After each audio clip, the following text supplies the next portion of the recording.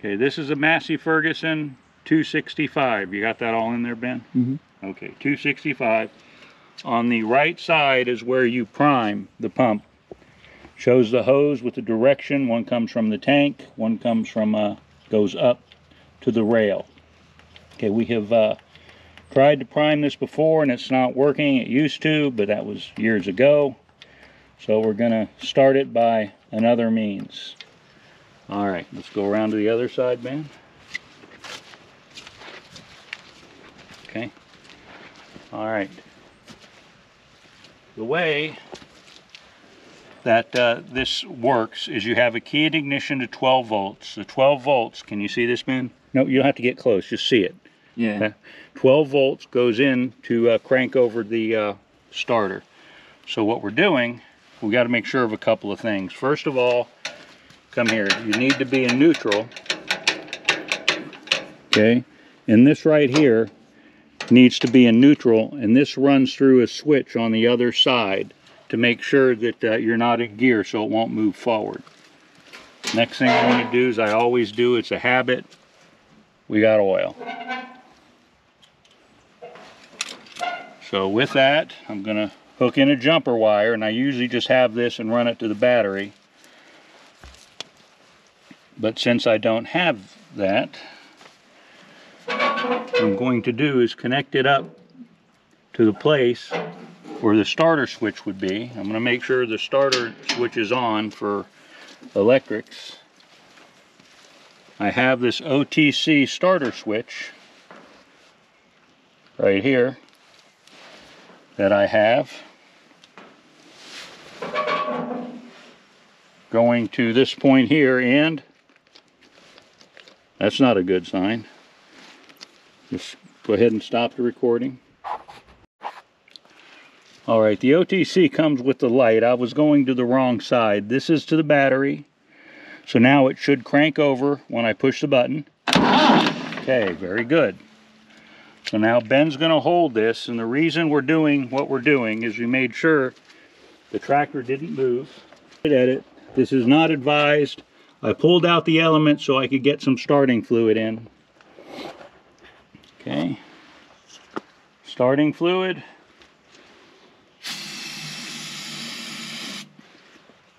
Poor old girl. Okay. So this can be a one-man operation. So go back so you can film it all, Ben. Ready?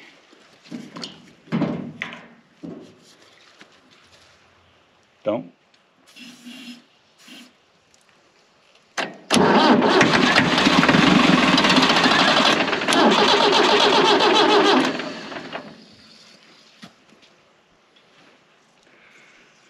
Okay.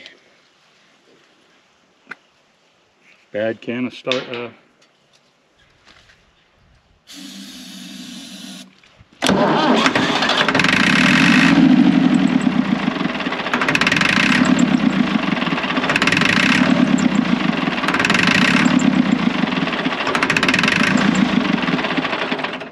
All right, this is not making me happy. All right. So, go ahead and stop the recording.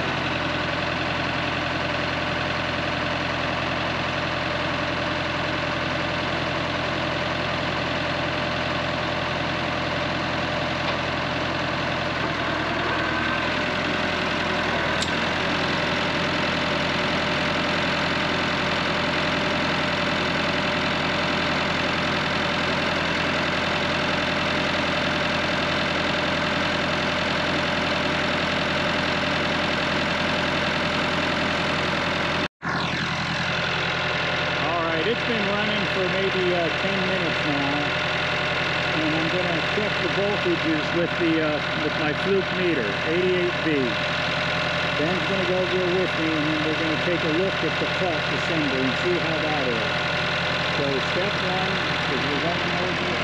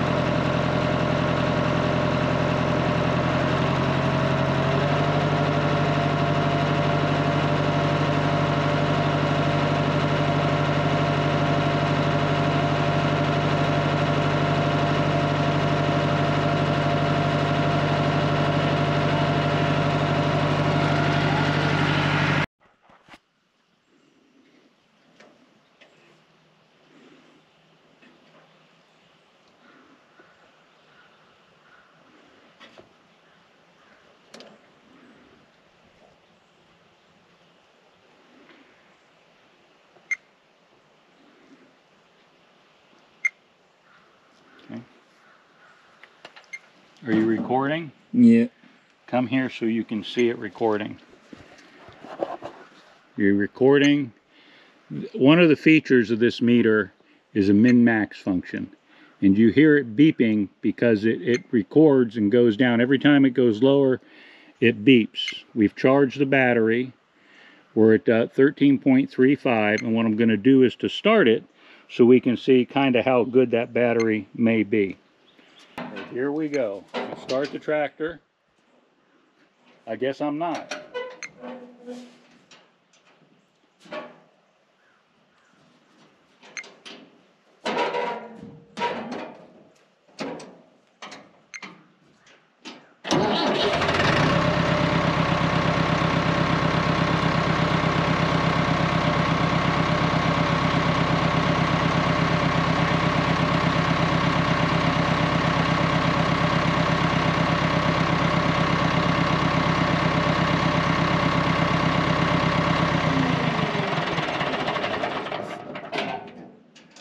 All right.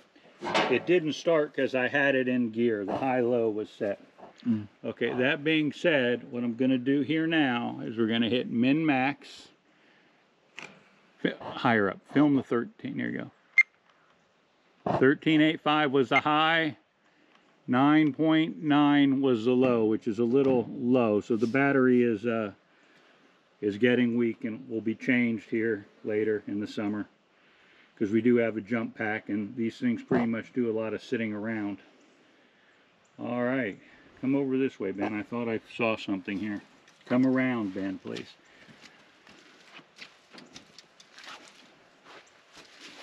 I saw fuel. You see fuel? It's not coming from above. It's coming right out of here.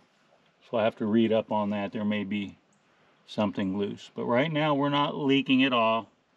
We changed this valve. Ben, can you see the valve from underneath or not? See the Yeah. valve? Okay. Got a picture of it? Yeah. So that was the valve. That was the valve we uh, changed out. All right, go ahead and stop recording, sir.